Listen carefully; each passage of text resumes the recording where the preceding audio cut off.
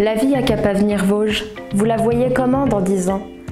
Pour construire ensemble la ville de demain, nous lançons les ateliers citoyens où chacun est invité à donner ses idées et à s'exprimer sur sa vision de ce que pourra être notre ville demain.